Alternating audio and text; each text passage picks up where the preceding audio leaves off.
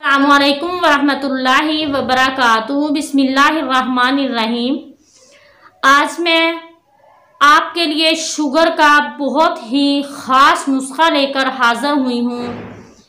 میری ویڈیو کو مکمل سنیں گے تو آپ کو نسخے کی صحیح طریقے سے سمجھ آ جائے گی۔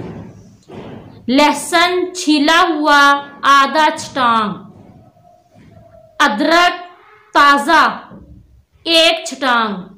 پودینہ سبز ایک چھٹانگ اناردانہ کھٹا ایک چھٹانگ سب اجزاء کو اچھے طریقے سے پیس لیں کوٹ لیں پیس کر اس کی چٹنی بنا لیں چٹنی بنا کر صبح اور شام کو یا دوپہر شام کو دن میں دو مرتبہ آپ یہ چٹنی کھائیں تو انشاءاللہ پرانی سے پرانی شوگر ختم ہو جائے گی اور شوگر کی وجہ سے اگر مریض کو جسم کے کسی حصے کے کو کاٹنا تجویز کیا گیا ہے تو اس کے لیے بھی یہ آزمودہ علاج ہے۔